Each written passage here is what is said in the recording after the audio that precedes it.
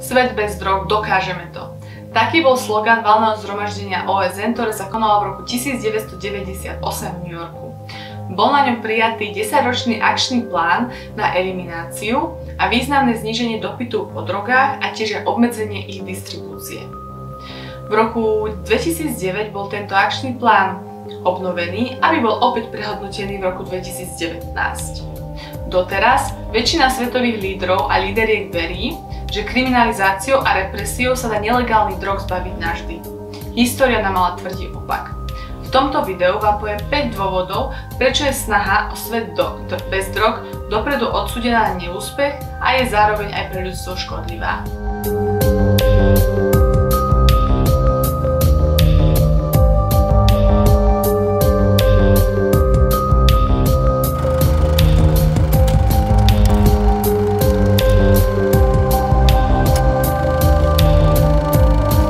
Za prvé, prohibícia jednoducho nefunguje. Hoci sa každý rok vynaloží na boj proti drogám 100 miliard dolárov, zatiaľ sa e, dopyt po drogách ani ich distribúciu nepodarilo eliminovať ani obmedziť. Podľa vysvetlenia, ktoré nám podáva skupina expertov a expertiek z London School of Economics, ktorí tvrdia, že vo svete, v ktorom existuje stabilný stabilný do, dopyt po drogách platí, že čím viac sa snažíte obmedziť e, distribúciu týchto drog, tým, tým lukratívnejší sa tento trh stáva pre samotných distribútorov.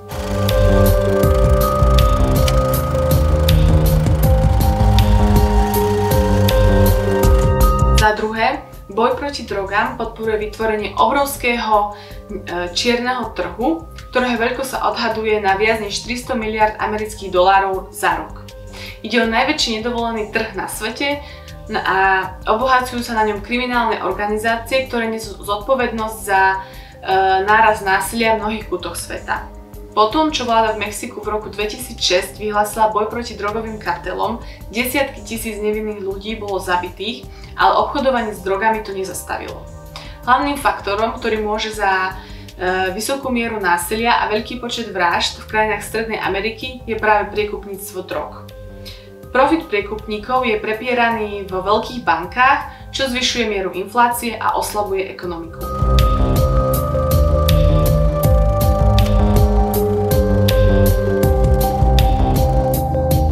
Za tretie, peniaze, ktoré sú vyprodukované nelegálnou produkciou drog, oslabujú rozvoj krajiny a podnesujú občianske vojny.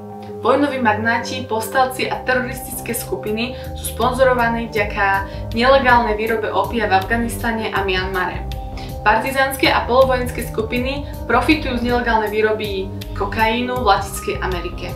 Kokain je do Európy často pašovaný cez západnú Afriku, ktorých teda krajiny sa stávajú tzv. narkoštátmi. Štátmi, ktorých ekonomika je závislá na nelegálnom trhu s drogami. Agresívne vyhľadzovacie kampane krajinách, ktorých sa drogy pestujú, ešte neobmedzili produkciu drogových plodín, ale mm, odobrali živobytie chudobným farmárom a prispeli k odlesňovaniu a znečisťovaniu prírody.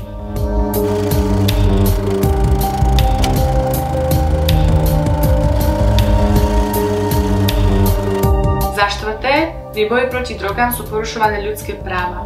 Takmer tisíc ľudí je každý rok popravený za drogové trestné činy. Viac ako 500 tisíc ľudí v juhovýchodnej Ázii je svojvoľne držaných v tzv. detenčných centrách, kde sú v mene liečby týraní a zneužívaní. Boj proti drogám v mnohých krajinách predstavuje masové uväznenia. Napríklad populácia Spojených štátov tvorí 5% svetovej populácie, zatiaľ čo ich väzni a väzenky netvoria až 25% svetovej väzenskej populácie. Negatívne dôsledky najtvrdšie dopadajú na menšiny. Napríklad v USA afroamerickí muži sú posielaní do väzenia za drogové priestupky 13 krát častejšie než bieli muži.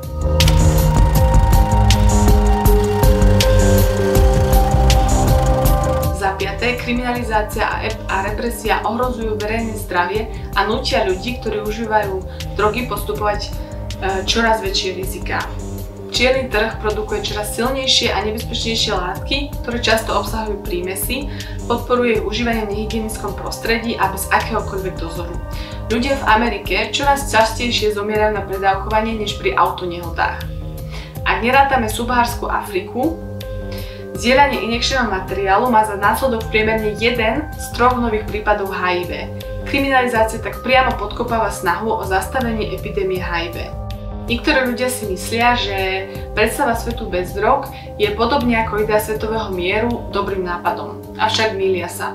Takáto predstava sa stala nočnou morou. Svetoví lídry a líderky musia zastaviť svoju nebezpečnú závislosť na represii. Ale aké máme alternatívy? O nich si povieme v ďalšom videu tejto série. Ak sa vám toto video páčilo, zdieľajte ho so svojimi známymi a tiež nasledujte na Instagrame či Facebooku.